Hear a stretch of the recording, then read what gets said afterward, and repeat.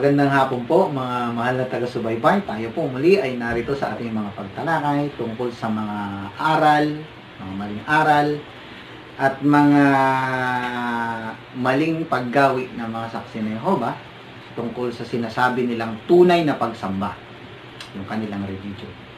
Sa puntong ito, ating ah, pag-usapan na talakayin yung tungkol sa ginagawa nilang pagtitiwalag at pagtatakwil sa kanilang mga miyembro. Opo.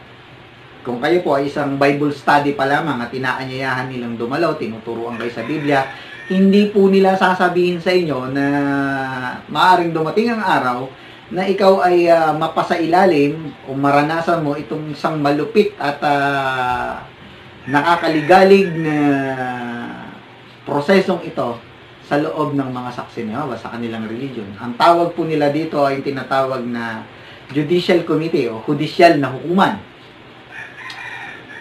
Dito po sa kanilang judicial na hukuman na ito, ito po yung kanilang proseso kung saan pinaparusahan nila yung mga membro nila na nagkakasala at kung hindi ka daw nagsisisi sa iyong ginawa, ay ititiwalag ka nila mula sa loob ng kongregasyon, tatapong ka nila sa labas at itatakwil ka nila. Opo, itatakwil ka kahit na nung pinakamalalapit mong mga kaibigan, ng mga saksi ni Jehovah, at kahit yung pamilya mo, kung halimbawa yung tatay mo, yung nanay mo, kapatid mo, mga pinsang buo mo, yung pinakamamalapit mong kamag-anak, hindi ka na po nila babatiin pag isa ka ng tiwalag. Kaya halimbawa, nasa lubong mo sila dyan sa daan, hindi man lang sila ngingiti, kakaway, o babatiin ka, sapagkat para sa kanila, patay ka na.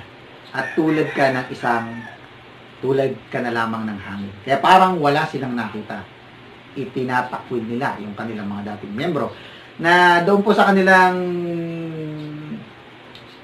ah, website, dw.org, nagsisinungaling organisasyon nila, sasabi nila na pinakikitunguhan pa rin daw nila ng may kabaitan yung kanilang mga dating membro. Eh, ganun po ba yun? Kabaitan po ba yun na hindi mo babatiin at ah, kakawayan man lang ang isang kapatid na natiwalag sa loob ng kongregasyon?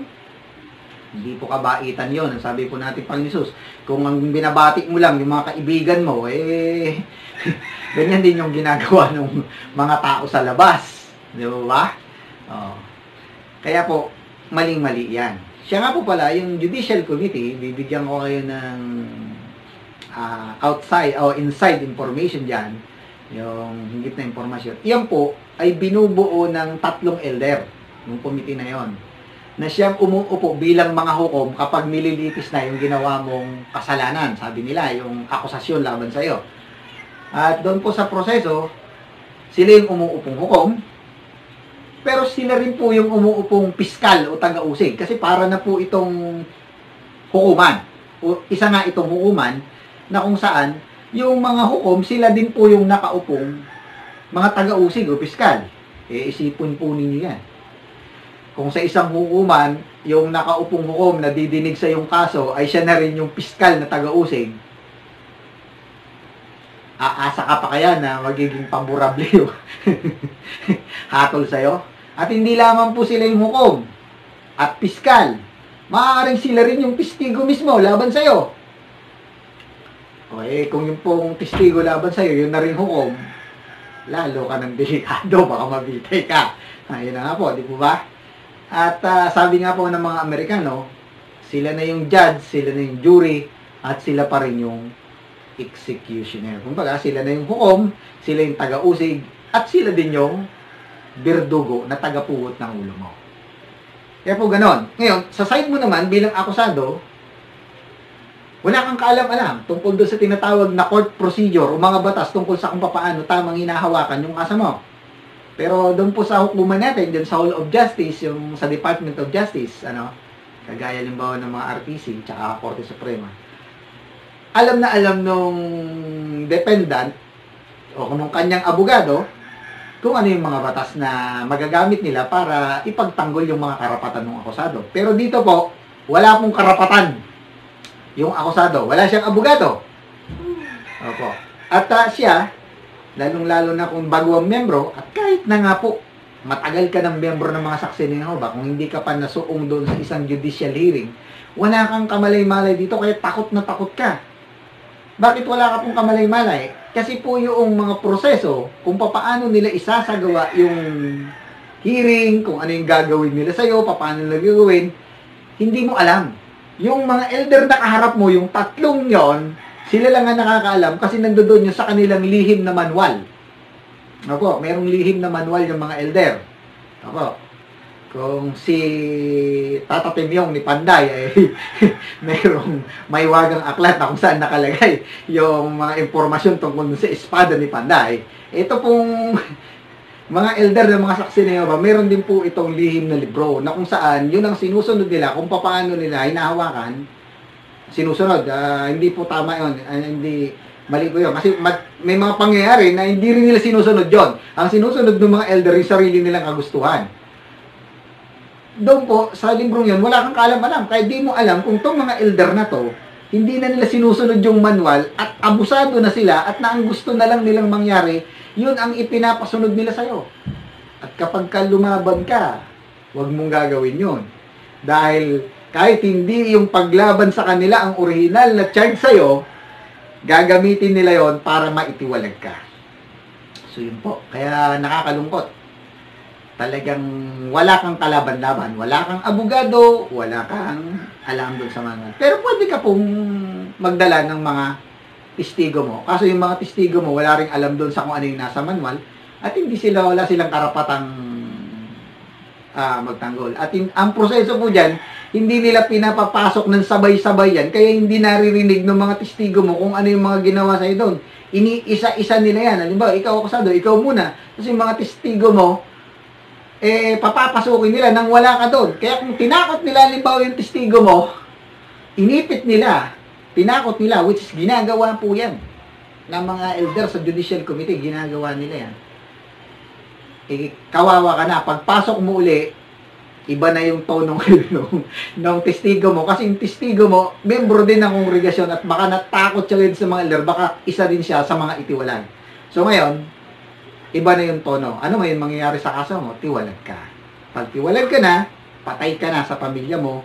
At yung, halimbawa, nakatira ka sa pamilya mo, at ah, nasa edad ka na, kick out ka. Tatapon ka ng pamilya mo. Hindi ka na pwedeng tumeron sa bahay nila. O kung matanda ka na, kahit nanay ka, o tatay ka na, walang kakayang buhay ng sarili mo, maaaring palayasin ka nung anak mo saksi doon sa bahay nila. Ganyan po kalupit yung procedure yan. O ngayon, kung minor de edad ka naman, maaaring hindi ka pa nila palayasin kasi, yun nga, minor de edad. Sabi nila, hindi palayasin. Pero halimbawa, may party doon sa bahay ng tsuhin o tsahin mo kasama yung mga pinsan mong mga saksi na Yehova, ah maiwan ka sa bahay. Lahat ng kapatid mo, tsaka yung tatay at nanay mo, sila pupunta ngayon doon sa party, pero hindi ka pwedeng sumama doon. Ganyan po kalupit yung pagtitiwalag ng mga saksi ni Yehova sa kanilang mga membro, kaya takot na takot sila dyan. Ngayon po, ikwento ko sa inyo yung ilang pangyayari na kung saan eh, nandoon ako sa kwento, Ah, sa mga pangyayaring iyon, ako ay aktibong naroroon. Kabilang ako dun sa mga pangyayaring ito na ikwekwento ko. Kasi di po ako magkwekwento kung yun ay narinig ko lamang, kundi ito ay kabilang ako sa mga karakter. Ah, ito pong una, tungkol sa isang sister, nung panahon ako ay isa pa lamang bagong elder sa aming kongregasyon. Ito po'y katulong sa bahay ng isa pang elder sa aming kongregasyon at ng kanyang asawa. Ngayon, dumating po yung panahon na umalis itong katulong na to na bagong bautismado sa aming kongregasyon. Umalis na dun sa bahay at uh, tumuloy dun sa ibang mga kapatid sa aming kongregasyon. Nakituloy muna pansamantala. At uh, doon sa pagtira niya doon, siyempre hindi maiwasang maikwento kung bakit umalis siya doon sa bahay ng mag-asawa. Na sinabi niya na hindi siya pinakikitunguhan ng maganda. So nagalit po yung mga mag-asawa at gusto nila ngayon na itiwalag itong baguang sister, itong dalaga, mula sa kongregasyon. Kaya lang, hindi naman pumayag nung una itong mga elder sa aming kongregasyon kasi hindi pa sapat yung sinasabi na kasalanan ng sister para i-fellowship siya o itiwalag sa kongregasyon. Pero dumating po ang panahon na hindi na dumadalo tong sister na to, medyo may katagalan, baka taon na po, na hindi dumadalo. Isang araw, yung aming tagapangasiwa sa paglilingkod, service overseer, isa ring elder, Inilapitan ako, sabi niya sa akin, Brad, kailangan natin bumuo ng judicial committee. Kasi nakita ko tong si sister ah, ganito. Itong si sister, ah, tawagin po natin halimbawa, ang ah, Maria. Eh, nakita ko tong si sister Maria na buntis. Okay, sabi ko, nakita mo siya buntis. Eh, bakit tayo bubuo ng judicial committee? Eh, Brad, gumawa ng immoralidad eh. Ah, ganun ba, Brad? Eh, tinanong ko siya, sabi ko, Brad, tinanong mo po ba yung kapatid kung yung bang ipinagbubuntis niya, ang tatay ba nung ipinagbubuntis niya ay legal na asawa ng kapatid, ng sister? Kasi sa saksi po, hindi naman itinitiwalag kung nag-asawa ka kahit na hindi saksi, basta't kasal. Tinanong mo po ba? Sabi ko. So, sabi niya, hindi. O, sabihin po natin, halimbawa, hindi niya asawa. Kung halimbawa po, na isa lang natin sa judicial committee yung sister, at magsisi siya, ititiwalag po ba natin siya? Sabi na naman ng brother, "Ah, hindi brad. Oh, pa- paano natin brad, ititiwalag agad-agad yan? Dahil nakita nyo lang nabuntis yung kapatid eh, ititiwalag na agad natin. Dahil lang sa matagal na siyang hindi dumadalo sa ating mga pagpupulong, ititiwalag natin. Yan po ba yung tamang procedure? Hindi na umiwek tong elder na to, yung tagapangasiwa ng paglilingkod. Kala ko yun na yung huli, na may pag-uusap tungkol dyan sa paksang yan. Pero hindi pa pala. Kasi yung nung mabalitaan nung mag-asawa, yung elder, tsaka yung kanyang asawa na dating amo nitong si Sister Maria, yung yung kalagayan na buntis nga, at siyempre, siguro galing na rin dito sa tagapangasiwa ng paglilingkod yung kwento, ah, kinulit-kulit nila yung presiding officer namin, yung aming PO, tsaka tong service service overseer, na itiwalag, gumawa ng judicial committee. Kasi ang gusto po nila, eh, makabawi, makaganti dun sa sister dahil nga doon sa pagkikwento tungkol sa mali nilang pakikitungo. Yun po ang nakikita ko lang na dahilan. So, gusto lang nilang ah, ah, magpapogi sa kongregasyon. Ito naman dalawang elder, best friend niya yung aming PO, nitong elder na to, pumayag. At wala silang ibang ginagawa, kundi kulitin po ako ng kulitin. Noon po'y bago ang elder ako, pero ako rin noon yung Chocratic School Overseer sa aming kongregasyon. Kulitin ako ng kulitin bago ako makyat doon sa plataforma at mga siwa sa paaralang Chocratic ko sa pagmiministeryo. Bago ako umakyat, chechempuan ako nitong dalawa para papirmay nila ako doon sa blue form na siyang pinipilapan kapag nagtitiwalag ng isang miyembro ng mga saksi ni Jehovah. Ito po ay mayroong duplicate, yung duplicate po pinapadala din sa tanggapang sangay sa Quezon City, pero yung original copy ay naiiwan doon sa salansan ng kongregasyon sa pangangalaga ng kalihim na isa pa ring elder. Gusto po nila, pirmahan ko yun at i-announce yung pagtitiwalag dito sa kapatid na tinatawag, tinawag natin sa pangalang Maria. Sabi ko mali yan, kaya hindi ako pumapayag at halos mag-away na kami sa tuwing kinukulit nila ako bago ako aakyat at mga siwa dun sa pagpupulo. At ah, bandang uli po, ay ah, sasabihin ko sa inyo na pumayag na rin ako. Bagaman mali yon alam kong maling-mali yun at masama ang loob ko. Isa po yan sa pinakamalungkot na pangyayari sa aking buhay nung ako'y naglilingkod pa bilang isang elder ng mga saksi ni Jehovah, yung ako'y pumayag dahil sa pressure ng mga matatagal ng elder na gawin ang isang bagay na alam kong mali. Opo, para wag na lang akong mapikon dahil malapit na po akong magalit dito sa dalawang... Actually, galit po ako. Ang ibig kong sabihin, baka makagawa pa ako ng mali sa kanila. Ayaw ko pong umantong doon, kaya pinirmahan ko. Pero hindi po doon natapos yun kasi nung sumunod na dalaw ng aming tagapangasiwa ng serkito, inungkat ko po ang pangyayari niyan. Ako po'y pinipigilan ng dalawa. Sabi huwag mo nang sabihin yan. Punta, tapos na yon At hindi naman nagreklamo si Sister Maria sa ginawa natin. Sabi ko, hindi. Gusto ko pong ipaalam doon sa tagapangasiwa ng circuit, sa circuit overseer, yung ginawa natin. Para malaman nyo kung tama ba yung desisyon nyo. Bueno pong sabi ng aming circuit overseer, ang sabi niya, mali yung ginawa nyo mga kapatid, na hinatulan nyo yung isang sister nang hindi siya nakaharap sa paglilitis. Kasi po, nandun din sa manual ng mga elder, na kung magsisi ang isa, gano'n man kabigat ang kanyang kasalanan, magsisi siya sa panahon ng paglilitis, ay hindi siya ititiwalag. Kaya ang pangunahing dapat na pagtutuunan ng mga pansin o ng pansin ng mga elder ay akayin, tulungan yung kapatid na magsisi, makita yung kanyang kasalanan at magsisi para hindi matiwalag. Pero ito pong mga ito, walang hearing, walang judicial hearing, gumawa sila ng decision, ng disfellowshipping. Kaya po sabi ng circuit overseer, mabuti na lang hindi yan alam ng system. At pero kung nagreklamo, delikado yung katungkulan nyo. At huwag nyo nang gagawin ulit yan mga kapatid sa susunod. Yun lang po yung sinabi ng circuit overseer at hindi naman dinisiplina itong mga to. Kung ako pinadisiplina noon, papayag din naman ako, di naman sasama ang aking loob dahil una-una na, alam kong mali yung ginawa namin. So, hindi ko po inililigtas yung aking sarili dyan. Yung pangalawa pong pangyayari ay nagsasangkot naman sa isang presiding overseer. Yan po ang tawag sa mga coordinator nung panahon ako elder. Sa katabi naming bayan. Siya po yung presiding overseer. Ito pong presiding overseer, ibinunyag niya yung pagsisinungaling na ginawa ng isang elder ng kanilang lupo ng matatanda na kalilipat-lipat pa lang doon sa kanilang kongregasyon. At uh, siya nga po pala, yung elder na yon, yung elder na ito na kalilipat-lipat na ibinunyag ng circuit, uh, ng presiding overseer, ay siya rin yung presiding overseer namin doon sa dati kong kongregasyon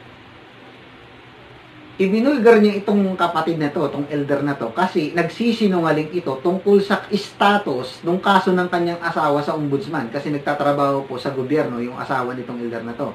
At nakasuhan ito kasama ng iba pang mga opisyalis na kasama niya sa trabaho sa ombudsman. Ngayon, itong elder, itinatago niya yung mga impormasyon na yon dun sa kanilang body of elders at kahit sa circuit overseer, nagsisinungaling siya. Ang dahilan, obvious po yung dahilan kasi Siyempre, kung mapatunayan, baka iyon ay makaapekto sa kanyang kwalifikasyon bilang isang elder at siya ay maalis. Ibig kong sabihin, gusto niyang pagtakpan. Pero nabuko siya nitong presiding overseer at may nakuha itong dokumento galing sa ombudsman at isiniwalat iyon.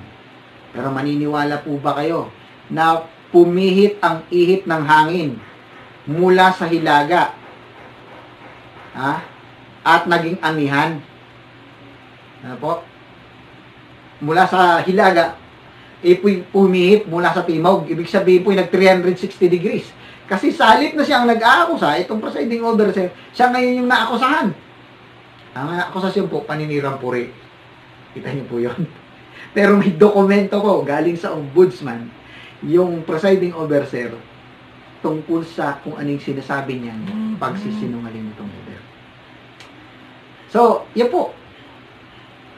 Sa madaling salita, pumihit. At yung circuit overseer nung panong yun, kumampi doon sa body of elders na kumampi dito sa elder na ito na nagtatakip ng mga impormasyon tungkol sa kaso ng kanyang asawa na nasa ombudsman ng panahon yun. So, ayun po, sa madaling salita, natiwalan tong presiding overseer, tong elder na to. Natiwalan. Pero, bago pa po matiwalag yan, yung kanyang kaapiang dinaranas nung di pa siya natitiwalaan, na ikwento niya dun sa isa pang presiding overseer sa kanod, kasunod na bayan ng kanilang bayan, sa Castillejos. Yung pong elder na yun, eh, nabalita ko, patay na. Patay na. Pero noon, magkaibigan din sila. Ito po kasing elder nito, presiding overseer na ikwento ko, best friend ko rin ngayon, naikwento niya yung kape ang inaabot niya doon sa body at doon sa pagkampi ng CEO. Sabi ngayon nung elder na yon, yung PO sa Castillo, sabi na, eh talagang inaapi ka lang, inaapi ka lang ng mga yan, Brad. Uh, kawalang katarungan ang dinadanas mo ngayon. Ipagpasa Diyos mo na lang yan at uh, si Jehovah na ang bahala sa'yo. So, ibig mo sabihin, sa tingin niya, totoong dumadanas ng kaapihan itong kapatid, itong presiding overseer, Subic. Ang masama po, dumating ang panahon na itong presiding overseer ng Castillejos, siya ngayon itong inimbitahan nitong mga elder ng Subic na umupo bilang chairman ng Judicial Committee na hahawak dito sa dati nilang presiding overseer. At maniwala po ba kayo? Sa bagay, nasabi ko na po kanina. Itiniwalag siya nitong best friend niya sa Castillejos na nung una nagsabi, na talagang inaapi lang siya ng mga elder dito sa Subic. Isa pong napakalungkot. Pero talaga namang nakakagalit na pangyayari. Opo, hindi po ako nagagalit para sa aking sarili, kundi nagagalit ako na makita yung ganyang kalagayan. Pero hindi lang po yan, ha? Ah, kasi dito po sa